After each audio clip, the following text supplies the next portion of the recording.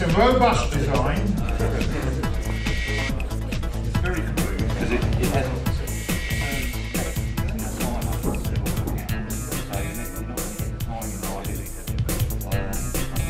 It's only got one wheel sensor. Normally one does turn by looking at both.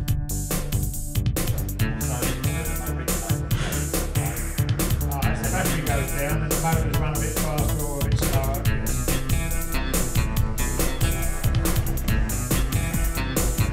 So with two wheel sensors, this would be a, world beater.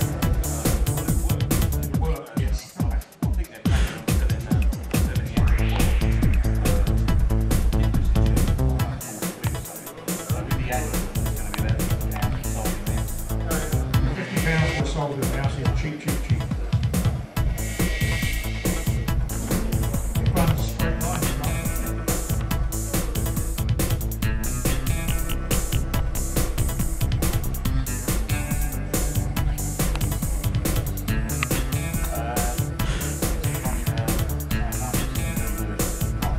Here we have two